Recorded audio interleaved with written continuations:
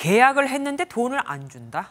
한국형 초음속 전투기 KF-21 사업이 분담금 납부를 놓고 잡음이 나오고 있습니다. 결국 우리 손해 아닐까요? 국방부 출입하는 정치부 권영봉 기자와 알아보겠습니다. 어서 오십시오.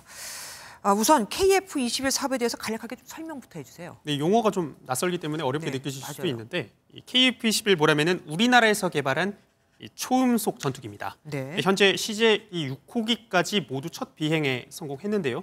한국과 인도네시아는 2015년부터 2026년까지 이 전투기를 공동 개발하기로 했습니다. 음. 개발비의 20%를 인도네시아가 부담하는 대신 시제기와 기술을 주고 48대를 현지에서 생산하기로 한 겁니다. 그렇게 약속을 해놓고 근데 왜 돈을 못 주겠다는 겁니까? 보통 줘야 될 돈을 안 줄 때 어떤 핑계를 대는지 아시나요? 돈이 없다. 정답입니다. 이 자국 경제가 어렵다, 네. 예산이 부족하다는 게 이유입니다. 지난해 인도네시아가 분담금 납부 기한을 2034년까지 8년 연장해달라고 요청을 했지만 우리 정부는 난색을 보였죠. 네. 안 그래도 이러다가 인도네시아로부터 돈을 못 받는 거 아니냐는 우려가 계속해서 나왔기 때문입니다. 네. 결국 애초 합의한 금액에서 3분의 1만 내고 기술 이전도 그만큼만 받겠다는 제안까지 나온 겁니다. 그런데 문제는 기술 이전이 그렇게 아까 말씀드렸다시피 무자르듯이 딱 잘라서 3분의 1만 주는 게 가능하냐 이겁니다. 예, 현실적으로 쉽지 않습니다. 기술의 가치를 숫자로 환산한다는 게 자체가 논리적으로 맞지 그러니까요. 않다는 겁니다. 예, 비슷한 맥락으로 앞서 인도네시아는 분담금을 기름인 파묘 같은 현물로 내겠다고 요청하기도 했는데요.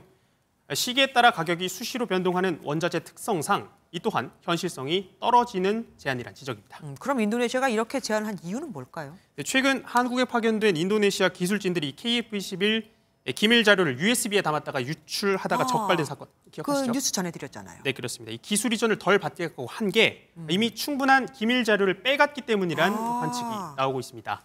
우리 정부도 앞으로 KF-21 해외 수출 확대를 고려해서 인도네시아의 이러한 제안을 검토하는 것으로 보입니다. 전문가 의견 들어보시죠. KF-21 전투기 공동 개발에 있어 어, 외교적인 사안으로 번지지 않도록 어느 정도 절충 합의를 본 것으로 보여집니다.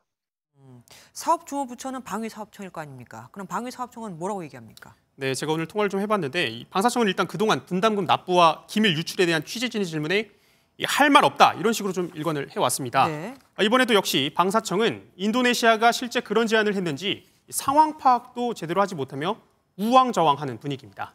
그러면서 이렇게 말했습니다. 왜요? 그 저희 아닌 것 같은데? 저희 따로 그 얘기를 했다는 기본이 없는 것 같은데? 제가 확인해 준 거 아니에요. 뭐. 주무부처라면서요. 그런데 꼭 남의 집 얘기하듯이 말을 하고 있습니다. 어떡하죠? 지금까지 정치부 권여봉 기자와 알아봤습니다. 고맙습니다.